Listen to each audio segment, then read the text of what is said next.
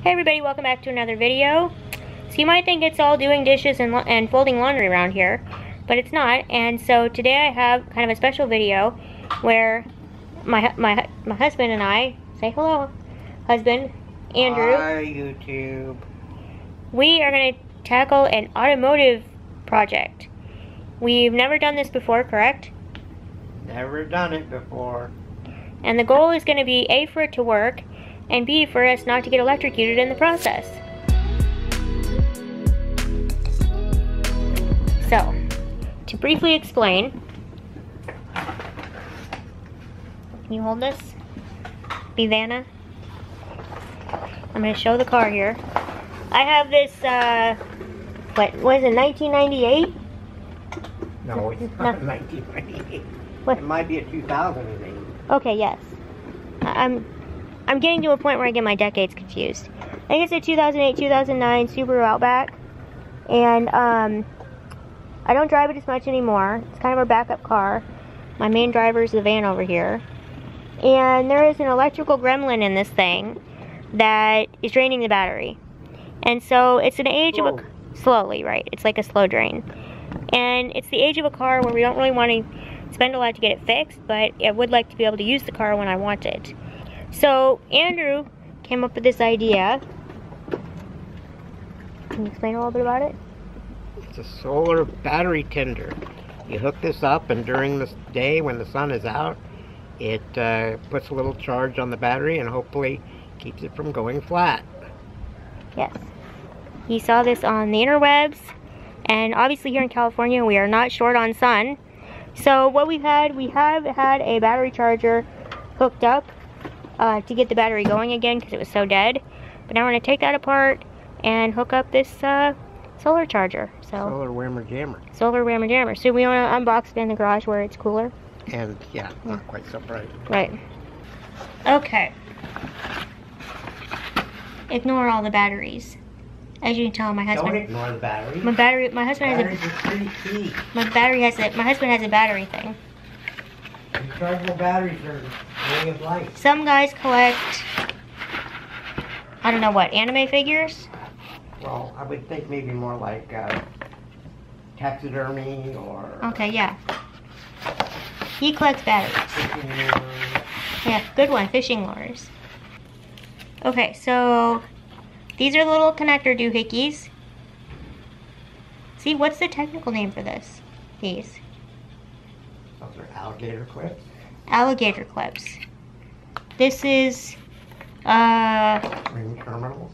wing terminals. Ring high. Oh, ring. Ring terminals, apparently. This is what connects to the battery. You actually have a couple different options there. Yeah. This is um Car, c- cigarette lighter adapter. yeah, cigarette lighter adapter. But why we're not going to use this part, are we? No, because your car doesn't have an always hot cigarette lighter. Yeah, we can't use this part because my car isn't always um the lighter isn't always hot. So it would be not getting any charge. Instructions, I'll link this below in case you're interested. And then this is the actual solar panel. There's a little connector. Well, what happened to the little suction suction cups? There should have been four Yeah. sections. Oh yeah. Uh, it came with four suction cups So the idea is and two hook it up. carabiners. The idea is that So the idea is you take the suction cups and the carabiners, and then you can dangle the solar panel from you know somewhere on the car. Uh, and ideally, I'm gonna want to be able to close the hood. Is that gonna be possible? Okay. He says it's gonna be possible to close the hood. so here's the deal. Yeah. We would cook hook these ring terminals directly to the battery, Right. right? But because of the length of this, we don't have enough wire. You would need to reach in there and grab that. But why can't you just run it right over the side? Well, then you then you have a you have a problem with the hood. Now maybe we could sneak it out oh, like that. Maybe we could sneak it out right here. Yeah. Exactly, right there. Do we have to can it go anywhere on the terminal? Can it go like do you tape it on? What do you You're gonna have to move your hand because I can't see when you do that. okay, why don't you raise up? No, you cannot tape it on. You're gonna have to You're gonna have to undo that lug. Which Point- lug? This point. one? No, the one. This that- yeah, that one. Undo this Yeah, and stick it under there. yeah, And then do that on the same side. yeah, yeah. Where's the screw on this side? I don't know. Oh, it's on the side. No, no, it's on the side. Put your finger. Oh, here. Yes. Well, that's pretty easy. Okay. I do that. Okay, what I'm doing now is I'm loosening the lug. You can use the other end of the wrench. It's ratcheted. Oh, maybe this is, uh, I thought I was moving it. Let me try. No, we need smaller. Flip it over. Flip it over. Well, we need smaller though. Oh wait, maybe not.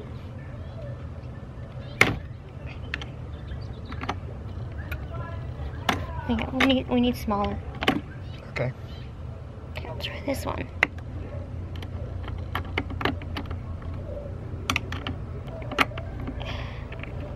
Just to see if it's the right side. Yeah, use the other end.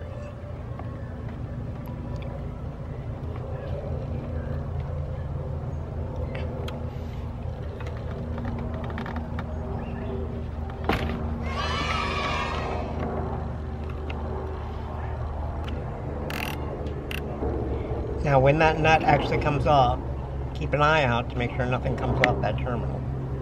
Okay. Washers, nothing. Just the nut. Just the nut. Is there a washer connected to that? Yeah. So put that back on. No, no, the, the is connected. Okay, so that's all that came off. Okay, so I slip the red terminal. It's got e- oh, even though this it has a yellow cord. Yeah. Okay. Oh. So the red one. Yeah. I have to split this a little bit, don't I? Yep.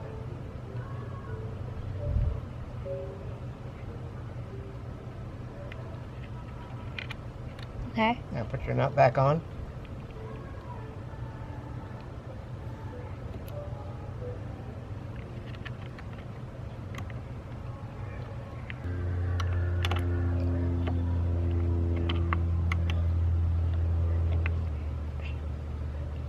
Okay. Okay. Now, do the other side. Yep. I think I gotta come in this angle. Okay. This one's even smaller. This nut. Why would they be different sizes? Because they can. Oh, this one comes off way easier. Again, keep an eye out to make sure nothing comes out. Okay. Why is that coming off? It can't get you stuck on there, can it? Yeah.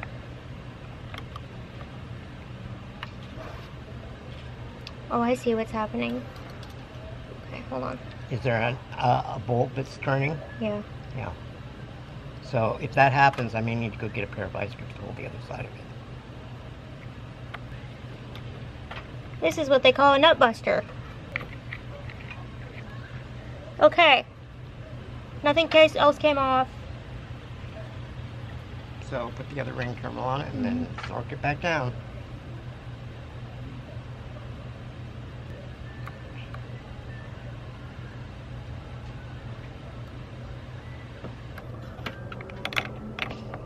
Can you over tighten these?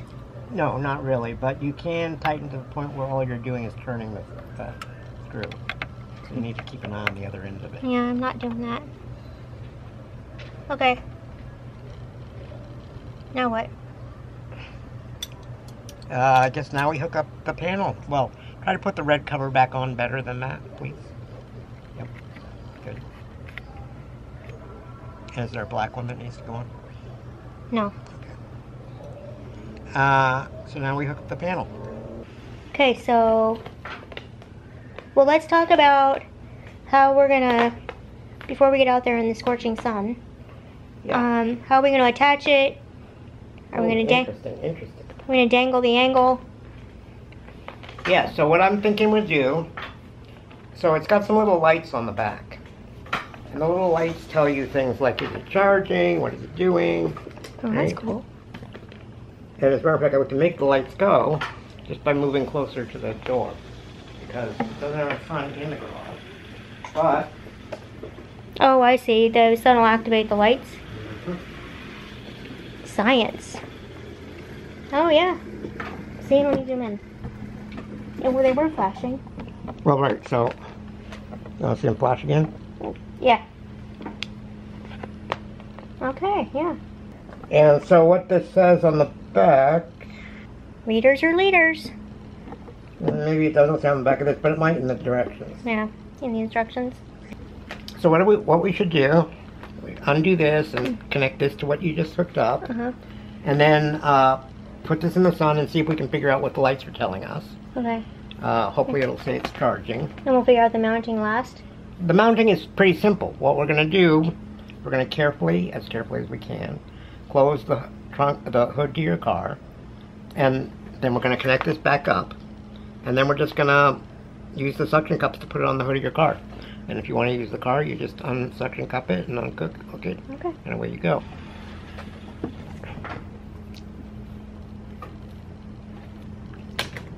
Give you a nice long cord. Yeah, I wish the other one was long, because then we could have had more options. So I just connect this up.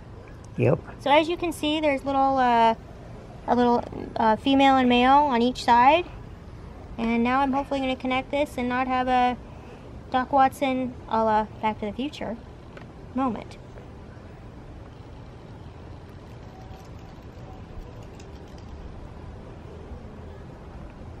Just got to press really hard. Yep. You're stronger than I am. I might have you come in and... I think that's done, isn't it? Well, it's not like closed. That's perfect. It's good. It's good enough. Yeah, pick up the solar panel and look at the back of it.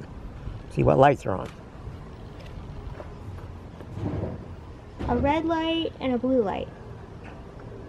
Okay? So we got to see what that means. Yeah. So let's not, since this hood is so hard to open, let's leave it open till we know this might be working. Okay. Well, can't we just go look at the directions now? Yeah. Can I just leave this right here? Yeah, leave it where the sun will be. That's fine. Anywhere there is fine. It won't hurt anything? No. Here we go. Owner's manual instructions.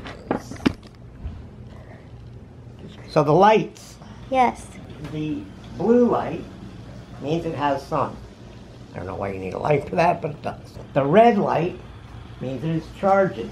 The green light means it's full, What's full? the battery. Oh, is it green? Oh, it's not green.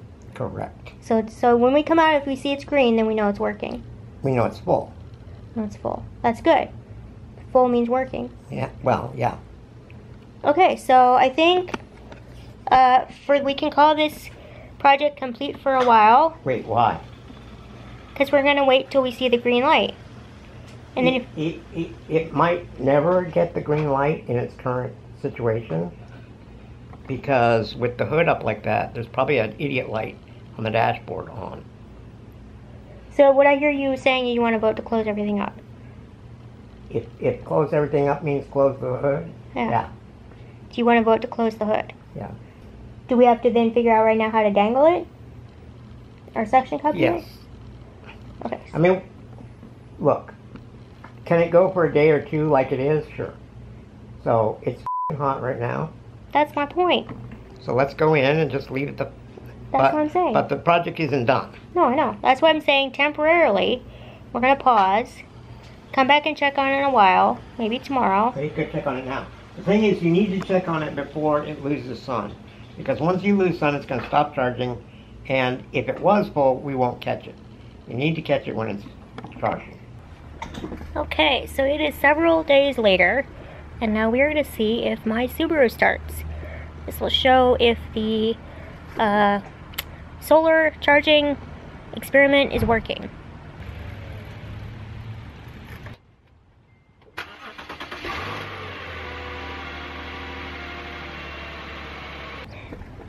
Okay, well that is a very good sign. I think we can call this experiment a success.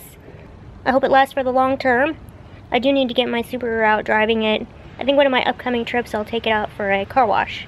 That will help, you know, the battery a little bit to just driving it and letting it um, recharge as it drives. Yes, it is uh, raining here today, thankfully, but I want to go ahead and finish this video. So I decided just to come out and test it so I could uh, wrap up this video. Uh, I always enjoy making these videos. Thank you for your support. Give it a thumbs up if you liked it. If you're new to my channel, welcome. Love having you here. Uh, if you haven't subscribed yet, go ahead and do that. Really appreciate you joining my community. And uh, that's all for now. I'll see you in my next video.